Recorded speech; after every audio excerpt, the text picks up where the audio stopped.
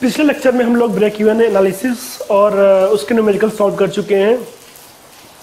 Numerical जो मैंने कराए हैं सारे गेट के हैं और उसमें एक कंवेंशनल न्यूमेरिकल भी था। वो काफ़ी इंपॉर्टेंट है क्योंकि उसमें कई सारे कॉन्सेप्ट क्लियर होते हैं। नेक्स्ट हम बात करने वाले हैं इन्वेंट्री की। तो इन्वेंट्री स्टार्ट करेंगे यहाँ पे। ये बहुत इंपॉर्टेंट टॉपिक है। ये गेट एस दोनों में बहुत आता है। और सबसे मेन चीज़ ये प्रोजेक्ट मैनेजमेंट और स्टैंडर्ड क्वालिटी ये दोनों सब्जेक्ट जो जीएस के हैं, इन दोनों भी काफ़ी ज़्यादा ये पूछा जा सकता है। तो ये ईएस के पेपर वन जो होता है, उसके हिसाब से भी इम्पोर्टेंट है। तो ध्यान से देखेंगे। इन्वेंट्री काफ़ी इम्पोर्टेंट टॉपिक है ये। सबसे पहले इन्वेंट्री होता क्या है? एक चीज़ आप बताना चाहूँगा। आप जो इसकी नोट्स हैं, वो डिस्क्रिप्शन में जाके डाउनलोड कर सकते हैं और आप देखेंगे कई सारा कंटेंट जो है, मेरा आप उस नोट्स में पा सकते हैं। तो डिस्क्रिप्शन में जाइए और नोट्स डाउनलोड कर लीजिए, आप उससे रिफ़र करें, ज़्यादा सही रहेगा। तो सबसे पहली चीज़ इन्वेंट्री होती क्या है? तो इन्वेंट्री की अगर डिफिनीसन की बात करें तो इन्वेंट्री एक तरह का स्टॉक होता है, जो किसी भी टाइम हमारे पास अवेलेबल होता है। याद रखिएगा, एक किसी भी टाइम पे अवेलेबल हो, वो स्टॉक होता है इन्वेंट्री अब इन्वेंट्री में अगर हम, मान लीजिए अगर हम कोई प्रोडक्ट लॉन्च कर रहे हैं तो उसमें हमारे पास इनपुट रहेगा आउटपुट रहेगा और प्रोसेस रहेगी। एक बार इसको देखते हैं। किसी भी प्रोडक्ट के लिए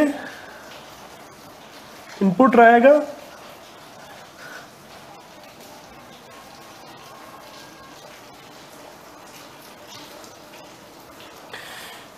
किसी भी प्रोसेस किसी प्रोडक्ट के लिए इनपुट को हम आउटपुट में कन्वर्ट करते हैं। बीच में जो हमारा आता है, उस पर जो भी हम प्रोसेस करते हैं। तो इनपुट हमारा हो सकता है रॉ मटेरियल या फिर मैन मशीनरी वाट ये हमने पहले लेक्चर में बात किया था। तो अब यहाँ पे हम इन्वेंट्री की बात कर रहे हैं। तो इन्वेंट्री एक तरह का स्टॉक होता है। स्टॉक ये हमारा रॉ मटेरियल भी हो सकता है या फिर नेक्स्ट हमारा जो भी प्रोडक्ट फाइनल प्रोडक्ट बन रहा है, वो भी हमारा हो सकता है। इसको भी हम इन्वेंट्री ही बोलेंगे क्योंकि ये हमारा स्टॉक ही एक तरह से होता है। इसका मेन पर्पज़ ये होता है, जो हमारे पास ये स्टॉक अवेलेबल है, इसको हम फ्यूचर में यूज़ करने वाले हैं। तो इन्वेंट्री जो होता है, वो हम, इसको फ्यूचर में यूज़ करने वाले, वो हमारे पर्पज़ के लिए होता है। तो चाहे रॉ मटेरियल हो या फाइनल प्रोडक्ट हो, ये दोनों इन्वेंट्री ही होते हैं। इसके अलावा, अब अगर हम रॉ मटेरियल को आउटपुट में कन्वर्ट कर रहे हैं तो उसके बीच की कई सारी प्रोसेस होती होंगी। तो जो बीच की प्रोसेस होती है तो उसको हम वर्क इन प्रोसेस बोलते हैं। जो भी हमारा प्रोडक्ट होता है, उसको हम वर्क इन प्रोसेस बोलते हैं। मीन्स वह इनपुट से जब स्टार्ट करेगा और आउटपुट में पहुंचेगा तो जो भी बीच के स्टेप होंगे, जो यहाँ से जो कन्वर्ट होते हुए जाता होगा, इसको हम वर्क इन प्रोसेस बोलते हैं। तो ये वर्क इन प्रोसेस जो होता है, ये भी हमारा इन्वेंट्री होता है।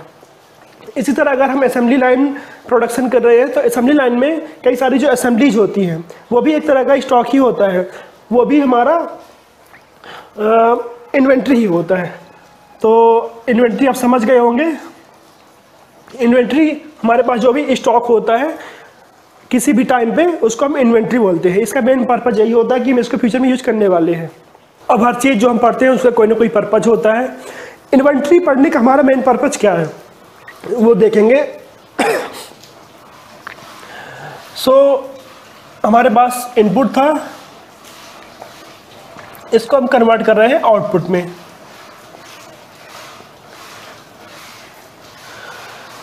अगर अब मान लीजिए अगर इनपुट को आउटपुट में कन्वर्ट करने में टोटल हमको 10 दिन लगते हैं। अब ये जो इनपुट हमारा जो हम मैंने अभी दो तीन चार चीज़ें गिनाई थी तो ये जो हमारा इनपुट है, ये हम कहीं बाहर से एक्सपोर्ट कर रहे होंगे इंपोर्ट कर रहे होंगे। जहाँ से हम इसको इंपोर्ट कर रहे होते हैं, वो कोई कंपनी हो हो सकती है, वहाँ से हमारे पास ये रॉ मटेरियल आता है। तो हम इसका इनपुट में लेते हैं अपने, ये हमारा इनपुट बनता है और इसको हम आउटपुट में बदलते हैं। अब अगर इसको आउटपुट में बदलने में हमको 10 दिन लगते हैं तो 10 दिन में जब इसको हम बदल रहे हैं तो हमारे पास जो इनपुट होगा मतलब जो रॉ मटेरियल होगा, ये स्पेंड होता रहेगा, ये हमारा खर्च होता रहेगा।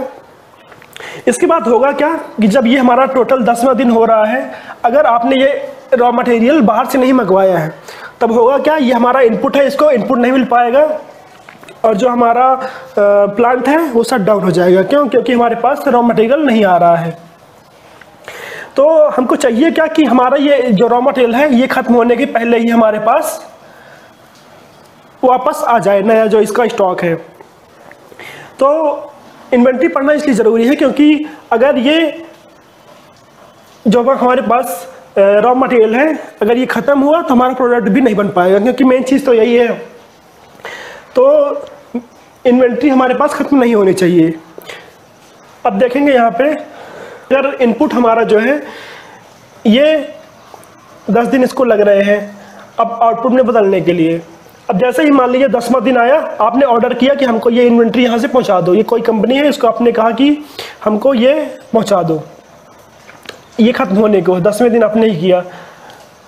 अब क्या होगा? वो वहाँ से आएगा, कुछ टाइम लगेगा उस पर प्रोसेसिंग होती है ट्रांसपोर्टेशन होता है, उसमें टाइम लगेगा। तो जब तक आएगा तो आपका लगभग ये दसवें, बारहवें दिन आ पाएगा। मतलब दो तीन दिन और एक्स्ट्रा लग जाएँगे। तब तक के लिए हमारा प्लांट कहाँ से काम करेगा? काम तो नहीं कर पाएगा। इसलिए हमको चाहिए कि हम एक सही टाइम पे इसको ऑर्डर कर दें ताकि ये हमारे पास इनपुट खाली ना बैठने पाए। अगर इनपुट हमारे पास अवेलेबल है तो हमारा प्रोडक्ट बदन बनता रहेगा। तो मेन पर्पज़ यही होता है कि हम टाइम से जो है इसको ऑर्डर करें। टाइम पे अगर ऑर्डर होगा तो टाइम पे हमारा प्लांट जो है शट डाउन नहीं हो पाएगा। तो हमारे पास एक तरह की इन्वेंट्री बनी रहे। इसके लिए हम इसको पढ़ते हैं। नेक्स्ट हम बात करने वाले हैं इन्वेंट्री कॉस्ट के बारे में। चलिए देखते हैं इन्वेंट्री कॉस्ट इन्वेंट्री कॉस्ट जो होती है मेनली चार तरह की होती है। फ़र्स्ट होती है हमारी परचेस कॉस्ट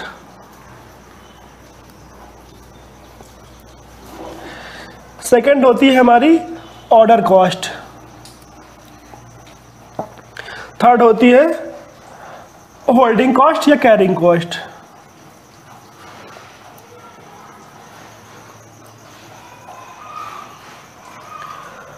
लास्ट होती है हमारे पास shortage cost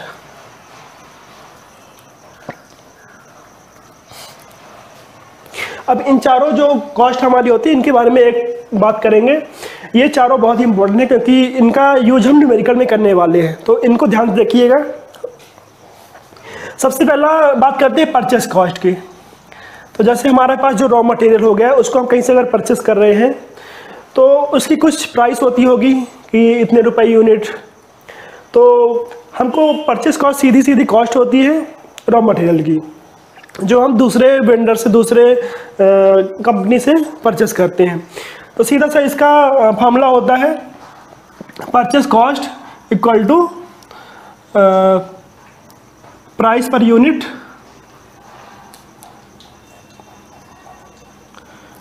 into number of product जो हम ऑर्डर कर रहे हैं। तो नंबर ऑफ़ प्रोडक्ट तो परचेस कॉस्ट को हम शो करते हैं प्राइस पर यूनिट से। प्राइस पर यूनिट और इसको अगर हम नंबर ऑफ़ यूनिट से मल्टीप्लाई कर देंगे तो हमारा टोटल परचेस कॉस्ट आ जाएगी। नेक्स्ट हमारा आता है ऑर्डर कॉस्ट अब ऑर्डर कॉस्ट होती क्या है? पहले ये समझ लेते हैं। मान लीजिए आपको कुछ ऑर्डर करना है रॉ मटेरियल तो रॉ मटेरियल अगर आपको ऑर्डर करना है तो सबसे पहले होगा क्या? आप निकालेंगे टेंडर न्यूज़पेपर में तो हमारी एक टेंडर कॉस्ट हो जाएगी, क्योंकि न्यूज़पेपर फ्री में तो काम करेगा नहीं, कुछ पैसे ही लेगा तो एक टेंडर कॉस्ट हो गई। इसके बाद क्या होगा, कुछ लोग अप्लाई करेंगे अप्लाई करेंगे तो आपको मेल करेंगे या फ़ोन करेंगे, आप भी उनको फ़ोन करेंगे। तो एक तुम्हारा फ़ोन वगैरह जो करते हैं कम्युनिकेशन कॉस्ट इसको बोल सकते हैं, ये हो जाएगा। मैं एक स्टेप बाय स्टेप आपको बता रहा हूँ कि इसमें होता क्या है। इसके बाद कुछ पेपर वर्क होगा प्रोसेसिंग होगा। तो एक प्रोसेसिंग कॉस्ट भी इसी के अंदर आ जाती है। कुछ पेपर वर्क भी होगा। अब सीधे सीधे तो आप आ, उसको टेंडर पास तो हो नहीं जाएगा। कुछ पेपर वर्क होगा। पेपर वर्क में भी कुछ पैसे लगेंगे। तो हमारा पेपर वर्क भी इसी में आ जाएगा। इसके बाद पेपर वर्क फाइनल हो गया। अब होगा क्या? आप जाएँगे वहाँ पे, जो भी आपकी कंपनी होगी, उसके पास जाएँगे। जो भी प्रोडक्ट होंगे, आप उसको इंस्पेक्ट करेंगे, कैसे प्रोडक्ट है। अब ऐसा तो नहीं है कि आप बस बैठे बैठे वहीं पे बता दिए कि हाँ भाई, इतने प्रोडक्ट भिजवा दो। तो वो भिजवाएगा नहीं, आपको वहाँ पे जाना पड़ेगा। आप या फिर आपको किसी को भेजना पड़ेगा। आप प्रोडक्ट को पहले इंस्पेक्ट करेंगे प्रोडक्ट कैसे है। तो इसमें इंस्पेक्शन कॉस्ट भी आ जाती है। अब कोई जाएगा तो वो पैदल तो जाएगा नहीं, कोई भी कम्युनिकेशन कोई भी ट्रांसपोर्टेशन मीन का यूज़ करेगा। तो इसी में ट्रांसपोर्टेशन कॉस्ट भी आ जाती है।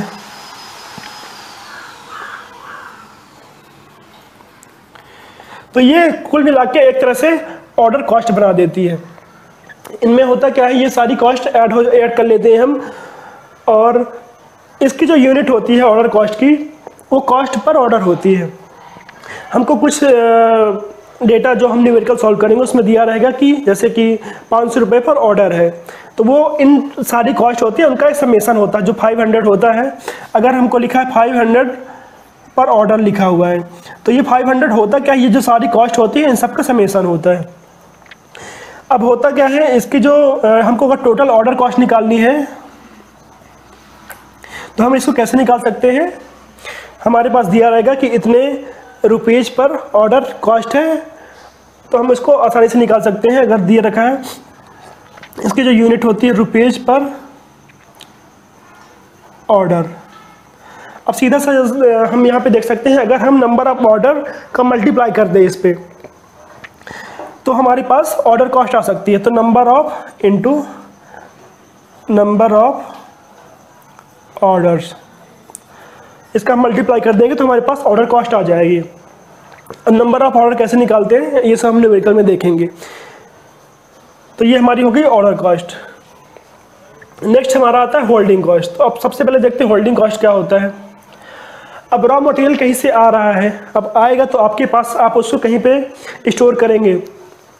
अब स्टोर करने के लिए अगर आपकी खुद की बिल्डिंग है तो ठीक है। अगर खुद की बिल्डिंग नहीं है, आपने किराए पे ले रखा है। तो वहाँ पे एक कॉस्ट और जुड़ जाएगी रेंट कॉस्ट दूसरा, आप, अपने स्टोरों में इसको स्टोर कर रहे हैं तो आप, अब ऐसे तो नहीं है कि डायरेक्ट उठा के वो अपने आप उड़ते हुए चला आएगा और स्टोर हो जाएगा। उसके लिए आप कुछ हैंडलिंग टूल्स का यूज़ करेंगे, या वर्कर यूज़ करेंगे तो इसमें हैंडलिंग कॉस्ट आ जाती है।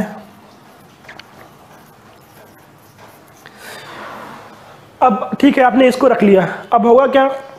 कुछ प्रोडक्ट आपका नुकसान हो सकता है जैसे अगर आ, कुछ चूहे खा गए या फिर कहीं पानी गिरा और वो पानी से ख़राब हो गया या डैमेज हो गया डिप्रिसिएशन हो गया तो इसमें एक और आ जाती है डैमेज तो शॉर्टेज कॉस्ट क्या होता है? मान लीजिए आपके पास आ, जो भी प्रोडक्ट आप बना रहे हैं उसमें क्या हुआ कि उसका शॉर्टेज हो गया आपके पास नहीं आ पाया। अब इसमें होगा क्या? अगर आपके पास नहीं हो पाया तो मान लीजिए आपका जो प्रोडक्ट परचेस करने आ रहे थे, वो क्या करेंगे? कुछ लोग होंगे जो वापस लौट जाएँगे। ठीक है, उसमें कोई दिक्कत नहीं। कुछ लोग होंगे जो अपना ऑर्डर आपके पास दे जाएँगे और बोलेंगे कि ठीक है भैया, जब आए तब हमको पहुँचा देना। कुछ लोग वापस लौट जाएँगे और, लेकिन उनमें क्या रहेगा, वो लोग फिर आपके पास कभी नहीं आएँगे। तो इसमें समझिए किस तरह से लॉस हो सकते हैं। तो जो पहला लॉस हमारा गुडविल लॉस गुडविल लॉस यही है कि जैसे जो भी लोग आ रहे हैं हमारे पास और हमको जो, उनको जो हमारे पास नहीं प्रोडक्ट मिल पा रहा है, वो अब वापस लौट के नहीं आएँगे। वो गुडविल लॉस्ट में आ जाएगा। गुडविल लॉस्ट हो जाएगा। और दूसरा हो सकता है कि जो प्रोडक्ट हमारे पास अभी नहीं है, अगर वो होते तो हम उनको सेलिंग करते सेलिंग करके हमारे पास प्रॉफिट आता। तो एक होता है potential loss potential profit loss potential profit loss यही हुआ कि जो प्रोडक्ट हमारे पास अभी नहीं है, अगर होता तो हमारे पास क्योंकि कस्टमर तो आ रहे हैं, लेकिन प्रोडक्ट नहीं है तो हमारे पास लॉस ही होगा एक तरह से। हालाँकि ये पोटेंशियल लॉस इसलिए इसको बोलते हैं क्योंकि ये प्रोडक्ट हमारे पास नहीं है, इसलिए हमारा लॉस हो रहा है। अगर होता तो नहीं होता। तो ये पोटेंशियल प्रॉफिट कॉस्ट हो गई गुडविल कॉस्ट हो गई।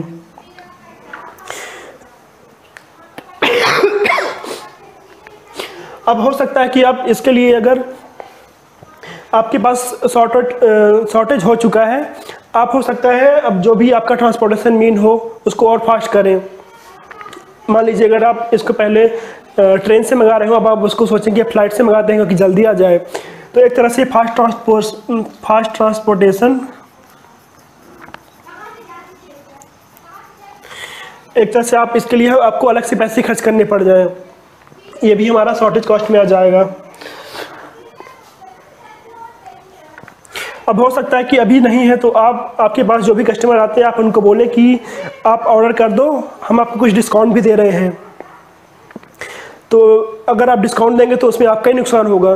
तो हमारा एक डिस्काउंट अगर आप अवेलेबल करा रहे हैं तो एक तरह से ये भी हमारा लॉस ही होगा। तो टोटल जो हमारी शॉर्टेज कॉस्ट आ जाएगी, वो इन सब का समेसन होगा। अब शॉर्टेज कॉस्ट निकालेंगे कैसे?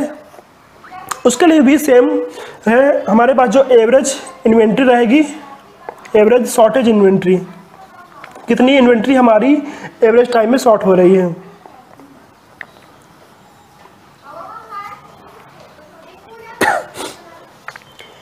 इनटू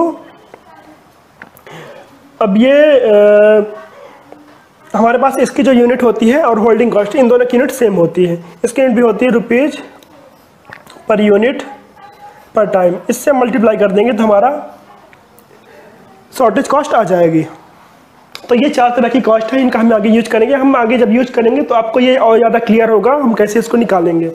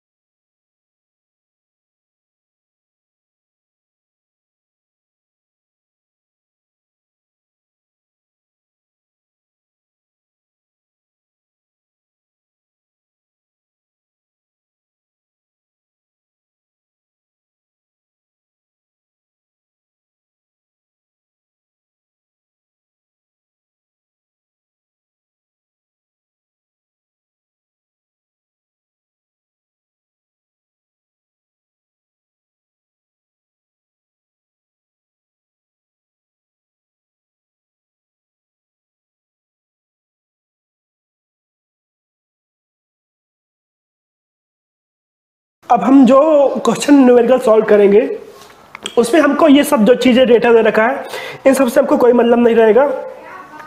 हमको डायरेक्ट रुपीज़ दिया रहेगा जैसे कि हमको ऑर्डर कास्ट में दे देगा कि 500 पर ऑर्डर है। हमको होल्डिंग कॉस्ट दे देगा कि ten rupees per unit per time है। शॉर्टेज कॉस्ट दे देगा हमको ten rupees per unit per time हमको बस केवल इतना ही दिया रहेगा, ये सब हमको नहीं दिया रहेगा। तो हमको इन सब का न्यूमेरिकल में यूज़ नहीं करना है। ये सब मैंने इसलिए बताया क्योंकि ये सब आपको ई e में पूछा जा सकता है। तो ई e के अगर क्वेश्चन आप सॉल्व करते हैं तो ये आपको ऑब्जेक्टिव में काफ़ी हेल्प कर सकता है, इसलिए मैंने ये आपको एक्सप्लेन किया है। ये सारी चीज़ें आप नोट्स में देख सकते हैं। नोट्स आप डिस्क्रिप्शन से डाउनलोड कर लें, ज़्यादा सही रहेगा। तो ये चार तरह की कॉस्ट हो गई। इनमें से सबसे ज़्यादा यूज़ हम करेंगे ऑर्डर कॉस्ट का और होल्डिंग कॉस्ट का। ये दोनों हम ज़्यादा यूज़ करने वाले हैं। इसके बाद कहीं पे हम परचेस कॉस्ट यूज़ करेंगे। इसका यूज़ हम कम ही करेंगे। तो ये दोनों आपको ध्यान से समझ गए होंगे।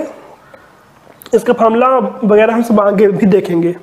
नेक्स्ट हम बात करने वाले हैं क्लासिफिकेशन ऑफ़ इन्वेंट्री इन्वेंट्री कितने तरह की होती है? तो इन्वेंट्री हमारी चार तरह की होती है। जो पहला है हमारा पाइपलाइन ट्राली भी बोलते हैं फाइटर भी बोलते हैं। दूसरा हमारा बफर इसको हम सेफ्टी स्टॉक भी बोलते हैं।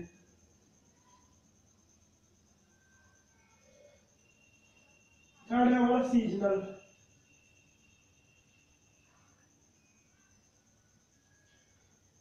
फोर्थ हमारा एंटिसिपेशन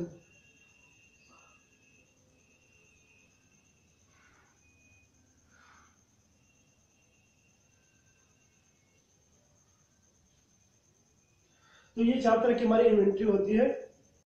सबसे पहले बात करते हैं ट्रांजिट या पाइपलाइन इन्वेंट्री की। जैसा कि इसका नाम भी बता रहा है ट्रांजिट मींस ये ट्रांजिशन फ़ेज़ में है। तो हमारी वो इन्वेंट्री जिसका यूज़ हम करंट में नहीं कर सकते हैं उसको हम पाइपलाइन ट्रांजिट बोलते हैं। अब जैसे मान लीजिए, अगर हमने कहीं से इसको ऑर्डर किया है, वह अभी बीच रास्ते में है, या फिर कहीं ऐसी जगह रखी जिसका हम यूज़ जहाँ पे हम इसको यूज़ नहीं कर सकते।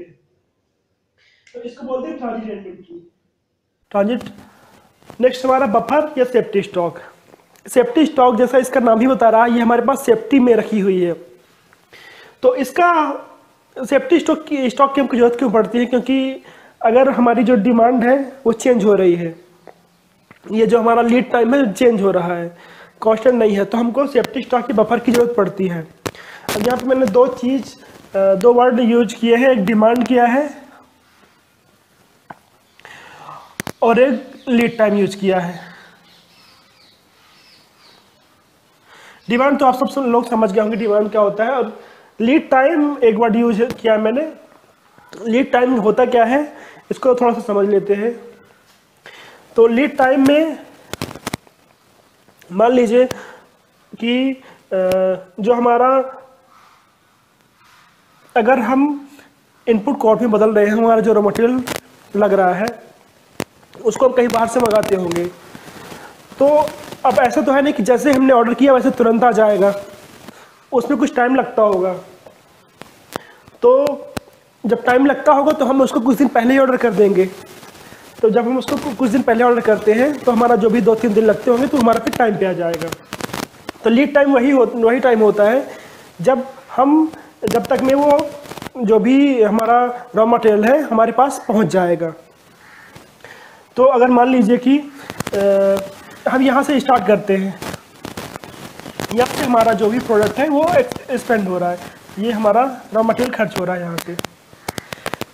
तो ये अब लगातार हम इसके ज़ीरो पहुँचने तक तो वेट तो करेंगे नहीं। इसके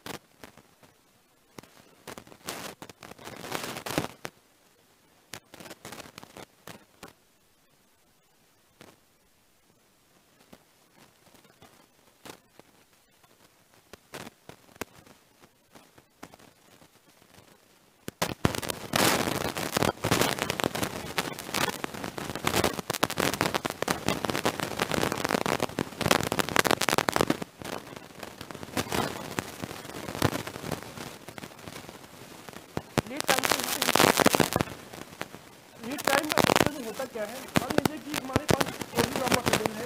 उसका यूज़ बनाते हैं। मटेरियल हमारा टाइम के साथ लगातार खर्च होता रहेगा। तो जब हमारा ये खर्च होने वाला ये होने वाला होगा, तब हम इसको ऑर्डर करेंगे। अब ऐसा तो है नहीं कि जैसे ये खर्च का पूरा, एकदम ज़ीरो हो गया, तब हमने ऑर्डर किया। तब तुरंत हमारे पास ये आ गया। तुरंत तो आएगा नहीं, इसमें टाइम लगेगा। तो जो टाइम लगता है तो हम इसके लिए क्या करते हैं? हम खत्म होने के कुछ दिन पहले ही इसको ऑर्डर कर देते हैं। तो ये हमारे पास टाइम पहुँच जाता है। तो मान लीजिए कि अगर जैसे हमने अगर यहाँ से स्टार्ट किया है, ये हमारे पास इन्वेंट्री का लेवल यहाँ पे है। ये लगातार यहाँ से खर्च हो रहा है। तो हमारे पास इन्वेंट्री जब कुछ बची रहेगी डिफरेंट अमाउंट की तभी हम इसको ऑर्डर कर देंगे। कि हमारे पास जो इन्वेंट्री बची है, तब जितनी इन्वेंट्री बची है, उससे हमारा काम चल जाए। तभी हम यहाँ पे ऑर्डर कर देंगे तो ये यहाँ पे आएगा, और तुरंत यहाँ पे जैसे ही पहुँचेगा, वैसे ही हमारा ऑर्डर हमारे पास पहुँच जाएगा रॉ मटेरियल तो हम उसको यूज़ कर लेंगे। तो ये होता है, जो हमारे पास इन दोनों के का टाइम होता है, उसको हम लीड टाइम बोलते हैं। तो लीड टाइम आपको समझ में आया होगा, वह टाइम जहाँ पे एक लेवल की इन्वेंट्री पे हम पहुँच के अपना नया जो है ऑर्डर कर देते हैं कि हमारे पास नया स्टॉक हमारे पास आ जाए। उसको बोलते हैं लीड टाइम इसके बारे में हम आगे ही बात करेंगे। तो ये था लीड टाइम तो सेफ्टी स्टॉक हम बात कर रहे थे सेफ्टी स्टॉक या बफर इन्वेंट्री की। तो ये वह इन्वेंट्री होती है जो हम अपने शॉर्टेज से बचने के लिए इसको यूज़ में रखते हैं। हमारे पास अगर डिमांड चेंज हो रही है डिमांड अगर ज़्यादा हो गई तो हम सेफ्टी स्टॉक से काम चला लेते हैं। इसको हम डेली यूज़ का नहीं लेते हैं? हम जो भी हमारा शॉर्टेज है, केवल उसी में लेते हैं। नेक्स्ट है हमारा सीजनल इन्वेंट्री सीजनल जैसे नाम ही इसका बता रहा है कि ये एक ऐसा टाइम आएगा जहाँ पे इसकी डिमांड काफ़ी ज़्यादा हो जाएगी और कुछ टाइम आएगा जिसमें इसकी डिमांड बिल्कुल नहीं रहेगी। तो इसको हम बोलते हैं सीजनल इन्वेंट्री इसको हम आसानी से गेस कर सकते हैं, जैसे कि रेन कोट रेन कोट हो गए। रेन कोट की ज़रूरत हमको बारिश के मौसम में ही पड़ती है। तो कई सारी इन्वेंट्री जिसकी डिमांड एक डिफिनेट सीज़न में होती है केवल, उसको सीजनल इन्वेंट्री बोलते हैं। नेक्स्ट हमारा एंटिसिपेशन इन्वेंट्री। एंटिसिपेशन इन्वेंट्री क्या होता है? हम कुछ चीज़ें होती हैं, जैसे कि यहाँ पे देखेंगे। जैसे अगर कभी स्ट्राइक हो जाती है, या कभी पॉलिसी चेंज हो जाती है किसी भी गवर्नमेंट की हो गई।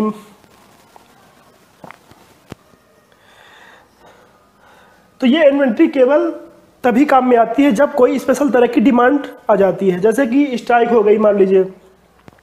तो जब स्ट्राइक हो जाएगी तो हमारे पास इतना इन्वेंट्री होनी चाहिए कि हमारा फ्यूचर का फ्यूचर में हमारी हेल्प कर सके। तो इसको बोलते हैं एंटिसिपेशन इन्वेंट्री या फिर मान लीजिए अगर गवर्नमेंट की पॉलिसी कोई चेंज चेंज हो गई तो उस पॉलिसी के साथ मैच करने में हमें कुछ टाइम लग सकता है। तो उस टाइम के लिए हमारे पास इन्वेंट्री का जो स्टॉक इन्वेंट्री जो होती है, उसको एंटिसिपेशन इन्वेंट्री बोलते हैं। अब कई बार क्या होता है, जैसे एक एग्जांपल से समझेंगे। आप जैसे कभी कभार जो हमारे पेट्रोल की प्राइस है काफ़ी ज़्यादा बढ़ जाते हैं। तब होता क्या है, जैसे उन्होंने इसको लागू कर दिया कि ये बारह बजे रात के बाद होगा। अब बारह बजे के बाद होगा तो बाकी लोग क्या करेंगे? जाएँगे पेट्रोल पंप, बारह बजे पहले और टंकी फुल करा लेंगे। अब ऐसे में क्या होगा? डिमांड वहाँ पे काफ़ी ज़्यादा बढ़ जाएगी। तो उस समय कौन सी इन्वेंट्री काम में आती है? Anticipation inventory. तो ये चार तरह की हमारी इन्वेंट्री हो गई। इन्वेंट्री को एक तरह से और क्लासिफाई कर सकते हैं। पहला जो होता है वो इंडिपेंडेंट।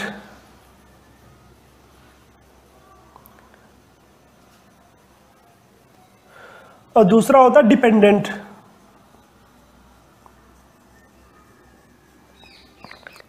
तो जो हमारी पहली होती है, इंडिपेंडेंट। इंडिपेंडेंट मीन्स आप इसके नाम से ही देख सकते हैं, ये किसी किसी दूसरी चीज़ पर डिपेंड नहीं करती है। इसको निकालने के लिए हम इंडस्ट्रियल इंजीनियरिंग का ही यूज़ में लेते हैं, जैसे इसको फॉरकास्टिंग करते हैं। फॉरकास्टिंग करके हम इसकी वैल्यू निकालते हैं कि हमको कैसे ये इसके बारे में पता करते हैं कि हमारा फ्यूचर में ये क्या होने वाला है। दूसरा होता है डिपेंडेंट डिपेंडेंट जैसे इसका नाम ही बता रहा है, ये इन्वेंट्री किसी दूसरी चीज़ पे डिपेंड करेगी। तो डिपेंड करेगी तो इससे हम इसकी, इसका बारे में आसानी से पता कर सकते हैं। डिपेंडेंट इन्वेंट्री किसी दूसरी इन्वेंट्री पे डिपेंड करेगी।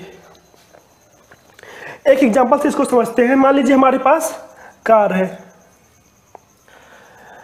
तो आप क्या बता सकते हैं कार कौन सी इन्वेंट्री होगी? डिपेंडेंट या इंडिपेंडेंट जो हमारी कार होगी वो इंडिपेंडेंट इन्वेंट्री होगी। इसके बारे में हम नहीं बता सकते कि हमको कितनी कार फ्यूचर में लगने वाली है। अब दूसरा, दूसरी चीज़ बात करें टायर्स टायर्स जो इस कार के हैं। अब क्या आप इसको बता सकते हैं कि ये जो टायर्स हैं, ये इंडिपेंडेंट है डिपेंडेंट है? जो हमारे टायर्स हैं, ये डिपेंडेंट में आएँगे। क्यों? क्योंकि जितनी कार होंगी, उसके हिसाब से तो टायर बनेंगे हमारे।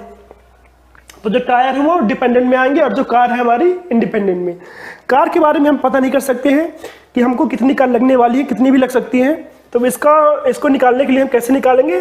फोर कॉस्टिंग वगैरह यूज़ करके। और जो हमारा जो डिपेंडेंट है, इसको हम कैसे यूज़ कर सकते हैं? इसके लिए हम एमआरपी वगैरह यूज़ करेंगे।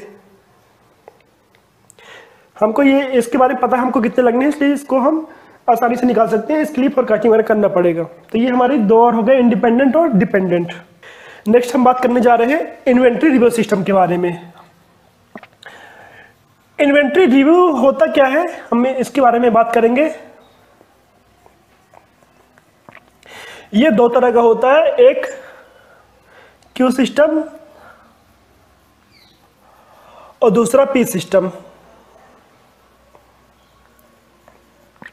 अब क्यू सिस्टम पी सिस्टम होता क्या है? तो सबसे पहले इसके नाम और जान लेते हैं। शायद इसके नाम से आपको कुछ आइडिया हो जाए।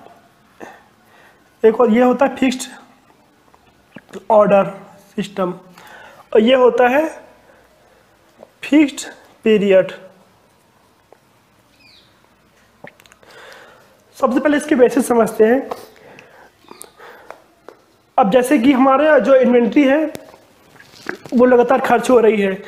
तो जब खर्च हो रही है तो हमको उसको फिर से ऑर्डर करना पड़ेगा। तो ऑर्डर करेंगे तो कब ऑर्डर करेंगे? तो इसको हम दो तरह से ऑर्डर कर सकते हैं। या तो हम एक डेट बना ले कि जैसे हमको तीस दिन बाद ऑर्डर करना ही है, कुछ भी हो जाए।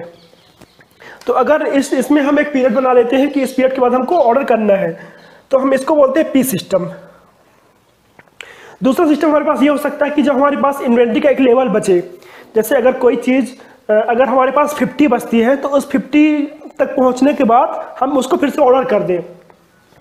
तो ये हो गया हमारा पास फिक्स ऑर्डर वाला। मीन्स हम एक इन्वेंट्री का लेवल देखते हैं। उस लेवल में जितनी जैसे इन्वेंट्री बची, अगर 50 इन्वेंट्री बचती हैं तो हम उसको ऑर्डर कर देते हैं। और पी सिस्टम में हम एक पीरियड सिलेक्ट कर लेते हैं कि हमको इतने दिन बाद ही इसको ऑर्डर करना है। इनमें से हम कोई भी सिस्टम सिलेक्ट कर सकते हैं अपने इन्वेंट्री के रिव्यू के लिए। इनके, इनको और कई भी नाम बोलते हैं। जैसे इसको टूबिन सिस्टम भी बोलते हैं। टूबिन सिस्टम। टूबिन सिस्टम होता क्या है? जैसे हमारे पास ये यहाँ से लिया गया जैसे हमारे पास ये ये फिफ्टी है। ये फाइव हंड्रेड है। तो ये हमारे पास टोटल इन्वेंट्री इतनी है। अगर हमारे पास ये फिफ्टी बचेगी, अगर ये फिफ्टी बचेगी तो हम इसको फिर से ऑर्डर कर देंगे। इसलिए इसको टूबिन सिस्टम बोलते हैं। रीऑर्डर लेवल सिस्टम इसको पीरियोडिक लेवल सिस्टम ये सब इसके नाम है। ये कुछ भी नाम से लिखा आ सकता है। तो यहाँ पे याद यही रखेंगे कि ये जो होता है क्यू सिस्टम ही होता है और कुछ नहीं, और ये पी सिस्टम ही होता है और कुछ नहीं। अब थोड़ा सा इन दोनों की बात बारे में बात कर लेते हैं। जो पी सिस्टम है क्यू सिस्टम है। इन दोनों में से अच्छा कौन सा है, बुरा कौन सा है? तो इसका आंसर है, कोई सा अच्छा भी नहीं है और कोई सा बुरा भी नहीं है। सबसे पहले हम बात करते हैं पी सिस्टम के बारे में। तो जो पी सिस्टम है, अगर सबसे पहले वो काम कर रहा है हमारा। मान लीजिए हमारे पास अगर डिमांड रेट हमारी अचानक से बढ़ गई डिमांड रेट अचानक से बढ़ गई, तब होगा क्या? अब ये सिस्टम तो बोल रहा है कि कुछ एक फिक्स पीरियड के बाद ही हमको ऑर्डर करना है। तो जब कुछ फिक्स पीरियड के बाद ही हमको ऑर्डर करना है और डिमांड रेट बढ़ चुकी है। तो हमारे पास क्या होगा? इन्वेंट्री शॉर्टेज हो जाएगा। अब अगर इन्वेंट्री शॉर्टेज हो गया तो हम कंपनी को नुकसान होगा। तो इसके लिए हम क्या करते हैं? सेफ्टी स्टॉक ही इसमें ज़्यादा रखते हैं। समझ में आई बात? डिमांड रेट बढ़ा और ये पीरियोडिक सिस्टम है। तो उतने पीरियड के पहले हम ऑर्डर तो कर नहीं सकते हैं। तो इन्वेंट्री हमारे पास शॉर्टेज हो जाएगा और जब शॉर्टेज हो जाएगा तो हमको सेफ्टी स्टॉक ज़्यादा रखना पड़ेगा। अब सॉरी सेफ्टी स्टॉक ज़्यादा रखेंगे तो इससे होगा क्या? हमारी जो होल्डिंग कॉस्ट है, ये भी बढ़ जाएगी। क्यों? क्योंकि हमको, हम कुछ एक्स्ट्रा मटेरियल यहाँ पर रख रहे हैं। तो जो हमारी होल्डिंग कॉस्ट है, ये भी बढ़ जाएगी। ये चीज़ आपको समझ में आई होगी। अगर हम क्यू सिस्टम की बात में बात करें फिक्स्ड ऑर्डर के बारे में बात करें, इसमें होगा क्या? हमारे पास जैसे ये बढ़ेगा, हमारे पास जैसे ये 50 पहुंचेगा, हम फिर से ऑर्डर करेंगे। तो अब अगर डिमांडेड बढ़ती है तो हम होगा क्या इसमें? बढ़ती है डिमांडेड इन्वेंट्री हमारी ज़्यादा जल्दी खर्च होगी, ज़्यादा जल्दी खर्च होगी तो ये 50 बहुत जल्दी पहुँचेगा। अब बहुत जल्दी पहुँचेगा तो अब इसको भाई ज़्यादा तो किसी से मतलब है नहीं। जैसे ही फिफ्टी पहुँचा, इसको बस ऑर्डर कर देना है। तो ये इस चीज़ में ये काफ़ी अच्छा रहेगा। क्यों? क्योंकि इस पर इन्वेंट्री कोई शॉर्टेज नहीं होने वाला है। लेकिन इसमें होगा क्या? हमारी जो ऑर्डर कॉस्ट है, बढ़ जाएगी। क्योंकि हम कई बार इसको ऑर्डर कर रहे हैं। तो ऑर्डर कॉस्ट हमारी इंक्रीज कर जाएगी इस केस में। तो ये हुआ हमारा पी सिस्टम और क्यू सिस्टम यहाँ पे एक चीज़ और ध्यान रखेंगे कि इसमें क्या है फिक्स्ड ऑर्डर में हमारा ऑर्डर फिक्स होता है और टाइम वेरी करता है। और इसमें क्या है, हमारा जो पीरियड है वो फिक्स होता है और इस इसमें पीरियड मीन्स टाइम और जो हमारा ऑर्डर है वो वेरी करता है। तो ये यहाँ पे याद रखेंगे ऑर्डर वेरी करेगा, इसमें ऑर्डर फिक्स होगा और इसमें टाइम वेरी करेगा, इसमें टाइम फिक्स होगा। तो ये हमारा हो गया इन्वेंट्री रिव्यू सिस्टम अब हम बात करेंगे इन्वेंट्री मॉडल्स के बारे में।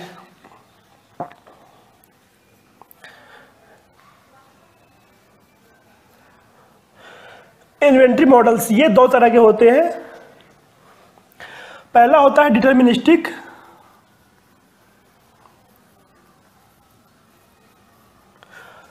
और दूसरा होता है प्रोबेबिलिस्टिक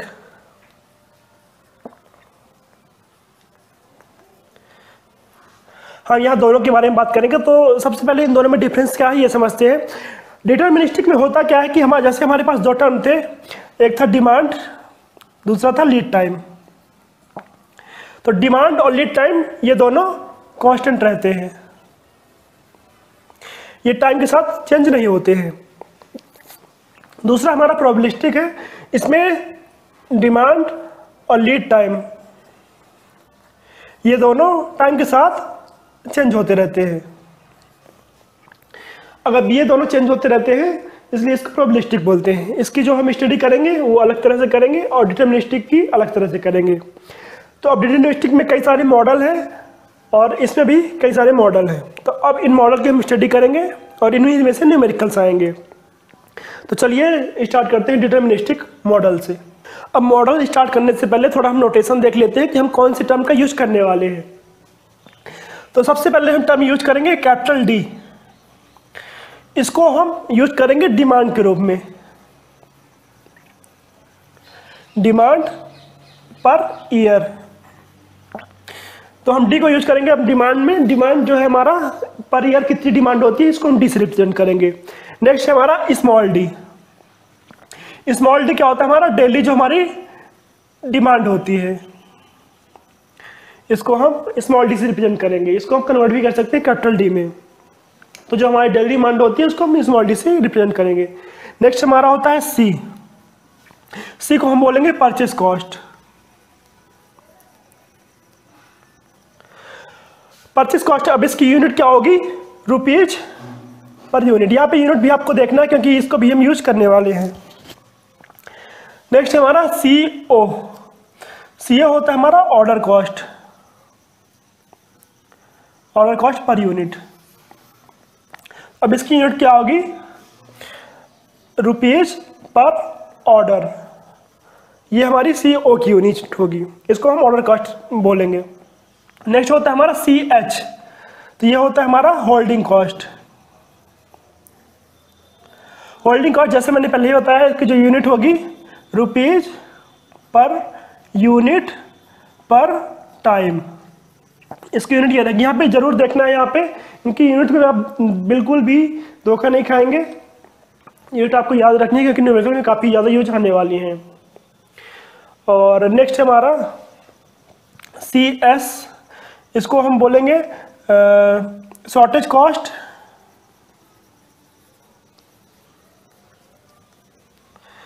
शॉर्टेज कॉस्ट तो हमारी ये इसकी यूनिट भी सेम रहेगी rupees per unit time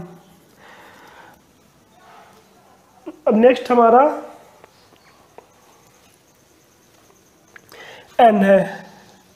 N हमारा क्या होता है? नंबर ऑफ़ ऑर्डर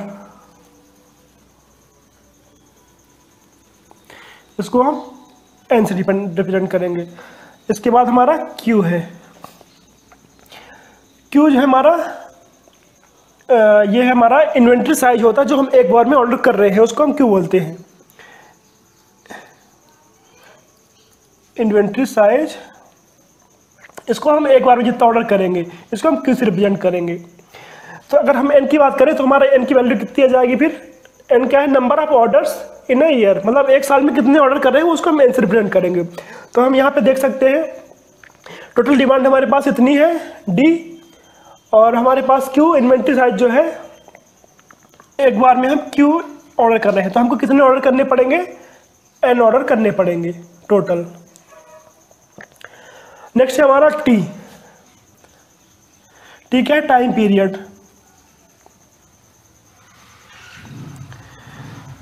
तो टी हमारा टाइम पीरियड कौन सा टाइम पीरियड दो ऑर्डर के बीच का टाइम मतलब एक ऑर्डर हमने किया, अब दूसरा ऑर्डर हम जितने दिन बात कर रहे हैं, उसको हम टी बोलते हैं। इसको भी हम ईयर में ही देखते हैं, इसको मंथ में भी कन्वर्ट कर सकते हैं और डेज़ में भी कर सकते हैं। तो ये हमारा होता है वन अपान एन या फिर देखें तो क्यू वाई डी ये होता है हमारा टी ये सब फॉर्मूले का फॉर्मूलों का यूज़ हम करने वाले हैं आगे।